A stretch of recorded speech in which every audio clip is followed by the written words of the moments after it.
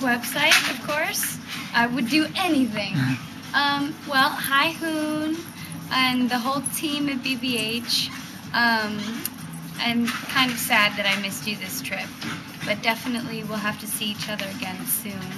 Um, I'm actually I'm coming back out to Japan in a month, so Oh. I don't know if you guys are gonna be here, but we'll all meet up.